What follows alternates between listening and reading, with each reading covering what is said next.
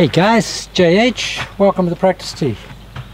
Okay, there's been a bit of an absence for uh, a few months because I've been moving residence and uh, that takes uh, priority. But I'm back, but as you can see I've just uh, got a makeshift practice tee. This is my new property here. We've got a nice fairway here, but I haven't established a uh, proper hitting um, tee yet, so in the interim uh, we'll use this makeshift one. Okay guys, what I want to talk about today is what I term the non-negotiables. Of all the lessons I've given over the years, I think probably the single biggest fault I've seen with the club player or the you know the, the medium handicap uh, to higher handicap player is a total lack of commitment to a proper grip.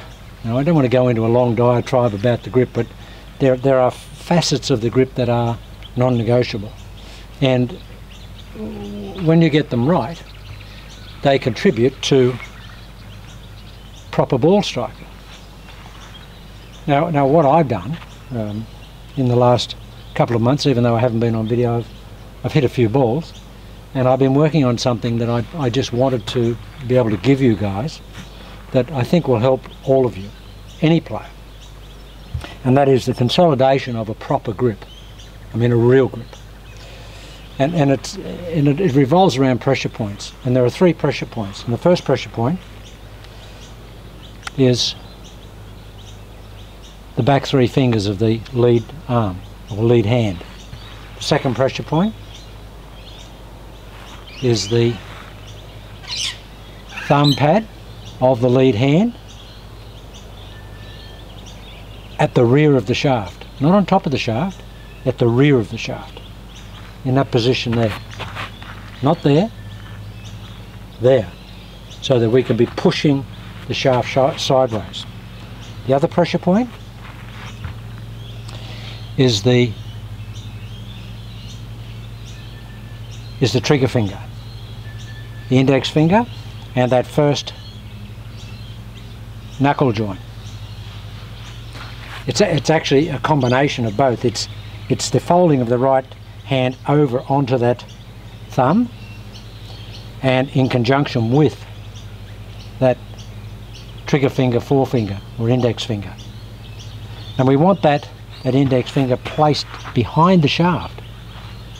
The reason we want that is we want all our pressure behind the shaft, not on top of the shaft, behind it, so that when we when we come down and we're retaining, and I'll talk about this other non-negotiable here, when we're retaining the right or the trail wrist angle, we can pressure the club this way, that way. My left thumb's pressuring it down, into, out, down and forward. If we have it on the top, it's very hard to pressure the shaft sideways. You really can't pressure it. And all the great all the great players, uh, you know, Hogan, Snead, Sanders, Palmer, they always had this predominance of this this right uh, or trail index finger. So guys, it's this, it's basically like you're pushing, you're trying to bend the shaft with that there. Now, you have to have that in the grip and that helps you consolidate the grip because too many players, you know, even when they have a practice swing, you watch them with a practice swing, this comes apart or this comes apart. Guys, nothing comes apart. It has to stay there. It has to be set at address. It has to stay there. It has to be increased, coming down, and it has to be held and forced into the, the ball. Now, how do we force it into the golf ball? You can't just do it with your hands. You can't just go, I'm going to do that. Because that doesn't work, guys. You can't apply the hands and the arms um, deliberately. They have to be a byproduct of the pivot. The pivot being that. The pivot, the pivot there, and when Hogan was the best, Rory's unbelievable, as are all the good players. They motivate the arms and the kinetic chain coming down with the pivot get to here and then it's this. It's here. I call it, I call it the bladder compression because in our anatomy, our bladder is across here. And I feel when I hit it really good that I'm actually doing that. That this here is going this way. As I'm coming down, this way. And, and that sort of, that part of the anatomy there and that process there gets this these pressure points these three pressure points activating correctly pushing pushing that way pushing sideways down and into the ball. Now the pressure points are non-negotiable. The pivot absolutely non-negotiable and it must happen early. It's got to be the uh, the motivator that pulls the arms in or the ignition process that pulls the arms into play. Because we can't just do that, guys. Because you won't do that all the time. But but if you basically set it, so I, I feel that this happens. I get this flailing connection type process here.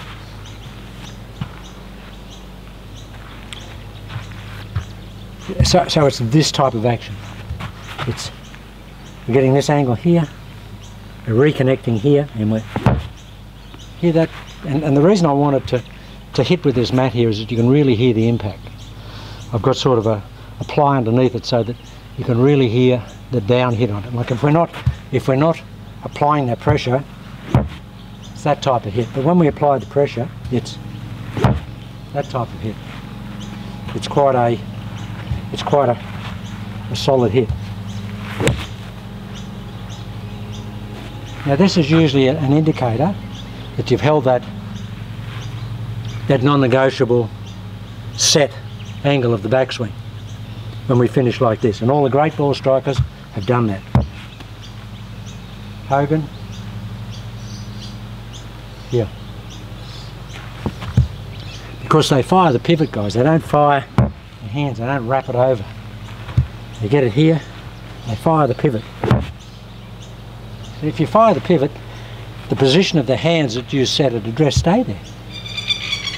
You don't have to do that to release the club. The release of the club is that angle there, there. You'll always see this formation on a good ball striker. Steve Elkington, Hogan, Martin Ayres, my good friend Martin Martinez, they've all got this, this process. That's not a good look. That's a good look.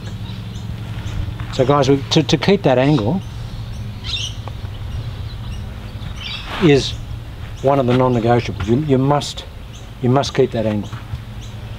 And the way you keep it is by isolating the desire to fire the club into the ball like that. The club's got to be pulled into the ball. It's got to be it's got to be compressed. The whole body's compressing into the ball. Here. It's like that. It's that.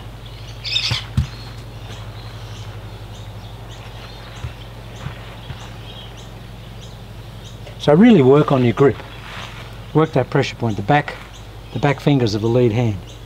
The thumb on the side of the shaft. So we can pressure it this way. This forefinger on the side of the shaft so we can pressure it forward. When you put your right hand on, wrap it on like that, which we saw Hogan do in that demonstration. You see, he just wrapped it on. And it goes over the cup of the right, or the trail hand goes over the thumb of the lead hand. But you have to wrap it on. Don't, don't just put it on like that. Wrap it on so that you've got the pressure in, in, in that forefinger.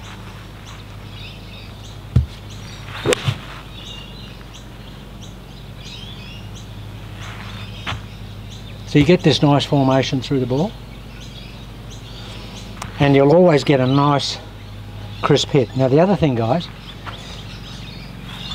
for the club player and someone that hasn't got a grooved action in the backswing, I think you're far better off by hinging the wrist as opposed to cocking the wrist.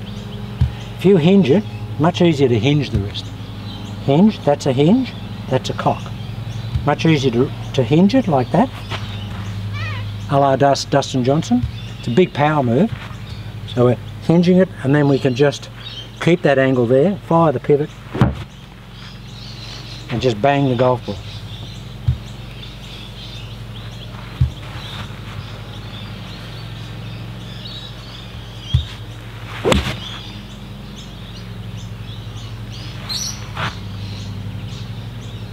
See the hit's so so really clean, crisp and strong.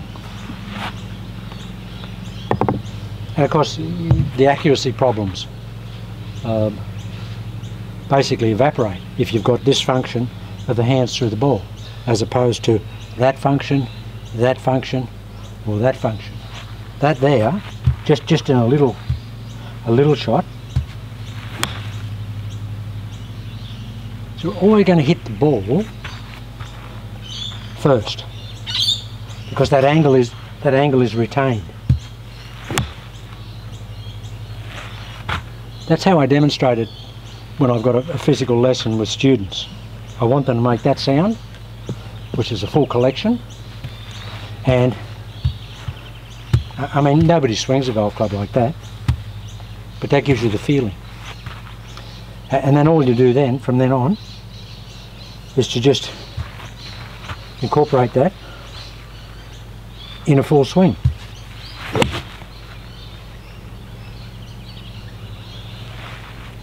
See this here guys? I promise you the ball can't get offline if you do that. That's why Hogan was so straight. That's why Doug Sanders was so straight, why David Graham was so straight.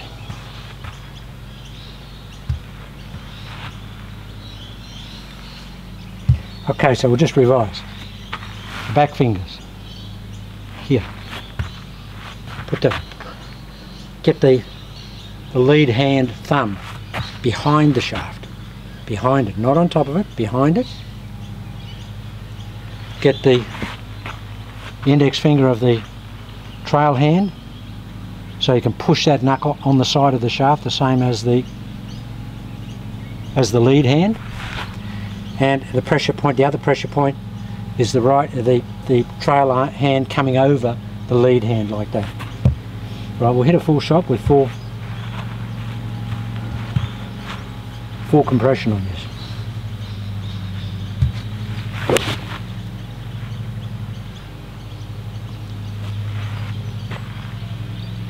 Ball doesn't move guys, I mean it just doesn't move. That's how Tom Watson hits it. Tom Watson doesn't take divots, um, but he's just a compressor.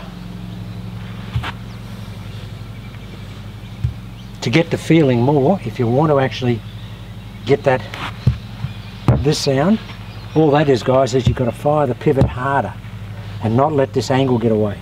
Fire the pivot harder and don't let that angle get away.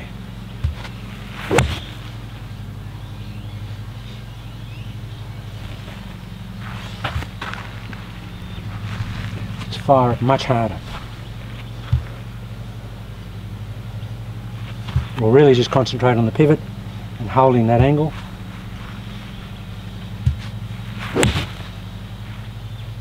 You can't make better contact than that, that's just perfect. And see that's a very, it's gone a long way that ball. But surprising, see how little action I've got going on? Not a lot of big shoulder turns, not much happening at all, but I'm still getting normal distance. And it's very hard to control this action here from this length golf swing.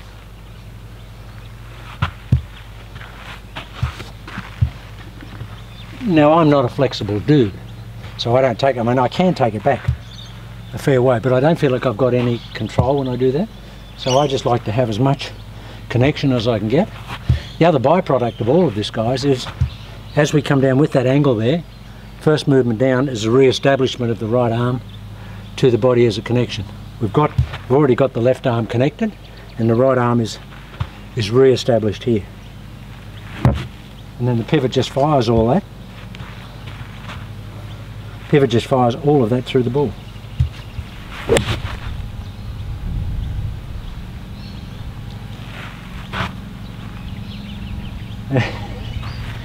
Did you see that? Yeah. It's very straight guys, that just that just hit the flag and way down there and the other ball before just actually bounced. We, we thought two of them in a row hit. Uh, the first one just missed it. Okay. It's very straight. And then we'll really compress this one and hold this angle.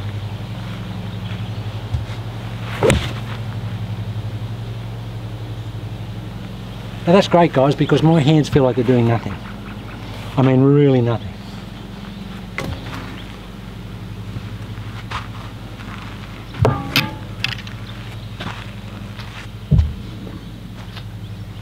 To learn it, just get a sand iron or something. Got a flag here at 50. Much easier to, to hold the angles when the when the swing's short.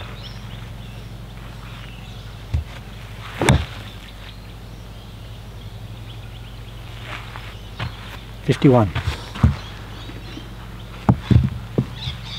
And you can get very aggressive with that that but that is because of this.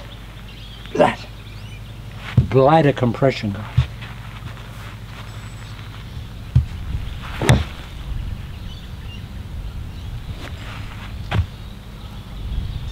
Boy that had some on it. This is the new I've got the new ping eye clubs and I've just spent all day yesterday setting them up and uh, for my lie and I don't set them up to degrees I just have the loft and lie machine there and I just bend it, put the club down, put it till it feels right, till and that's right. I don't even know what the specs are. But my specs are about two, two and a half to three flat. Right, well really, this is the drill. Nice connection here. Just gonna hinge that up.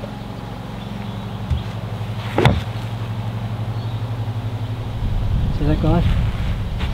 We'll do a little bit more on it during the week, but that's the basic um, foundation of what we're going to talk about this week and I'll show you how to to actually formalize the introduction of that into the um, into the to the swing there's a few more little snippets that are um, that are you know, absolute requirements. But guys we'll, we'll have you working with a very, very correct grip.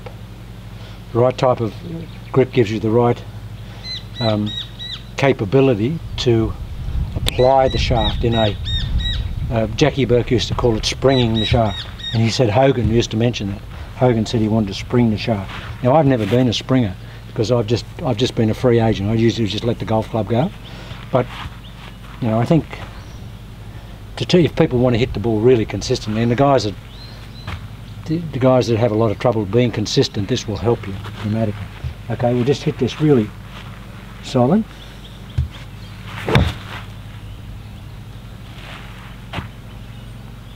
See, that's gone off, awful long way for a sand iron. I mean, that's gone like, you know, oh, like a really hard wedge distance. Now, just just until I get back to you during the week, just get just get your wedge of sand iron just set it up. Get those pressure points. Feel those pressure points here when you take the club away. And just work on a little pivot. That club didn't even go back past there. Just work on this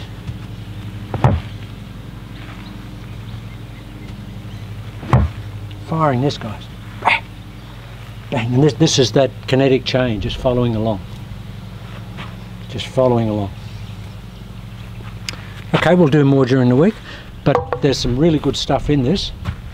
And the reality is, guy, they are non-negotiable. You have to do them if you want to be a consistent ball striker.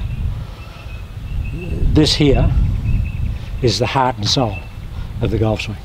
These angles here, those pressure points, and instigating the the downswing with the pivot, as opposed to the arms or the shoulders or anything else.